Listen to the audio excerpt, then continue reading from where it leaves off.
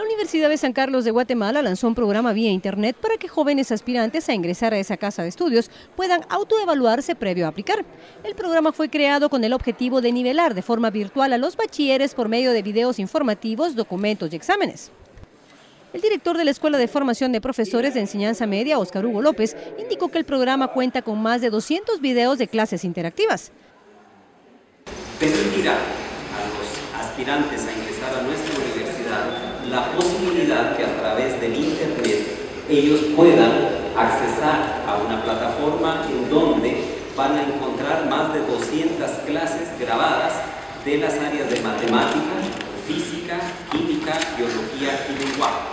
Profesores especializados, cada uno con muchísima experiencia, con una formación extraordinaria, han dedicado su talento, su conocimiento y su tiempo para que a través de videos los estudiantes puedan observar las clases que han sido diseñadas con base en el currículum nacional que Guatemala desarrolla. Asimismo, el rector universitario Estuardo Galvez explicó que alrededor de 30.000 jóvenes realizan el proceso para ingresar a la institución, sin embargo el 30% no lo consigue.